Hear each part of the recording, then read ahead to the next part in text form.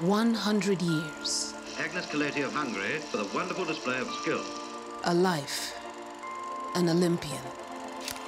And in her century, what did Agnes see? Agnes saw a light. A light that helped illuminate the entire world.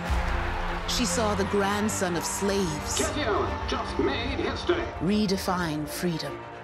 She saw the mother of two They called her the flying housewife to mock her. prove that anyone can fly. But Fanny's laughing now. And she saw a man with no shoes Abebe Bikila with a new world record. teach the world how to run. She saw generation after generation stand in that light and watch their differences disappear like shadows in the noonday sun.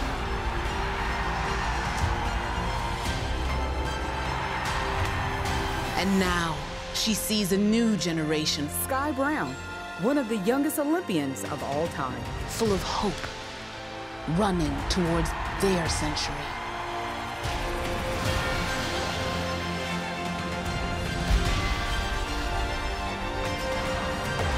A generation who sees the same light Agnes saw. A generation who knows. Together, we're stronger than the darkness can ever be.